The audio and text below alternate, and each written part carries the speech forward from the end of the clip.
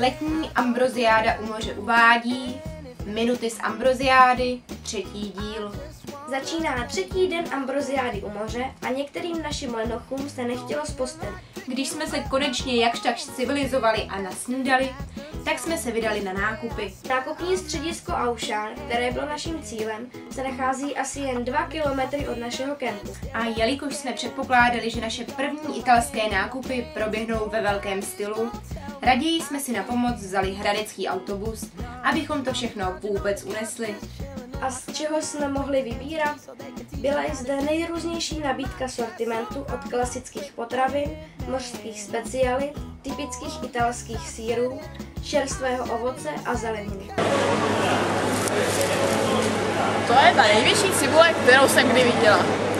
V areálu jsme mohli navštívit i spoustu malých obchůdků s oblečením, obuví a různými druhy bižuterie. Hele, a jsi si jistá, že tam máš správné záběry?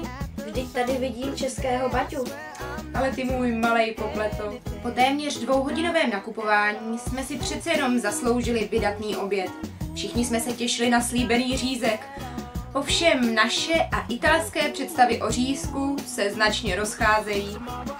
Po siesti jsme se šli podívat na naše děti k bazénu. Ale kde jsou? Nevím, že by spali? Asi... Ne, počkej. Z pláže se ozývá nějaký hlukot. To budou určitě oni. To je vážně neskutečný, jak ti naši dokážou udělat hluky při tak nevinné činnosti, jako je stavění hradu z písku. A jak je to tu vůbec s bezpečností na pláži? Myslíš, že tu mají nějaké hezké plavčíky? No, hezký. Zkrátka a dobře dva vždy připravení beachbojové tu jsou. Všichni jsme koupání úspěšně přežili a opět se vrátili k práci na projektech. Náš, tedy druhý štáb, měl první hodinu herecké improvizace. A jakže to dopadlo? Já to nevidím z takový dálky. Už bych si konečně dala nějaký maso.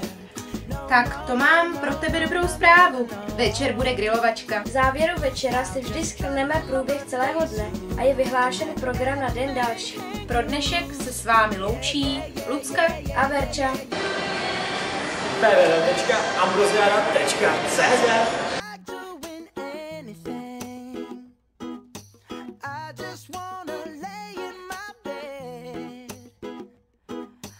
feel like